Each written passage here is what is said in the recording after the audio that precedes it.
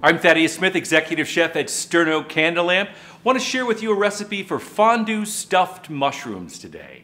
Let's take a look.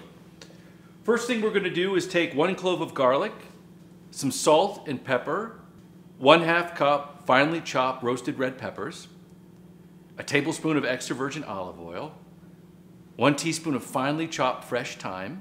We've got 24 large white mushroom caps here, and four ounces of Gruyere cheese. First, let's mix the ingredients together. Then we'll take a mushroom, remove the stem, peel the skin this way, fill each cap with a bit of the red pepper, and then cheese on top. Then we're gonna put it into a 400 degree oven for about 15 minutes. When we take the mushrooms out, one optional thing that we can do is take a torch and just caramelize the top a bit. And that's our recipe for fondue stuffed mushrooms.